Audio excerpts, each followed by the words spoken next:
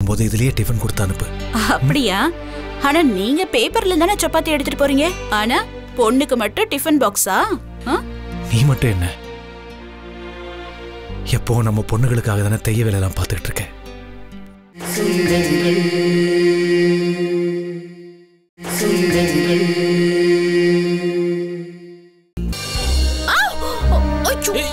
தெரியல என்ன இடிச்சதும் இல்லாம ஓவரா பேசு. நீயா?